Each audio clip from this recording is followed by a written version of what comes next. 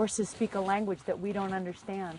And so it's really an art to learn how to speak and communicate with them. It's their own language, and you have to learn how to do that. I understand my horses. I, I mean, I can just look at them and, and know how are they. oh! and then there's Odie who likes to communicate.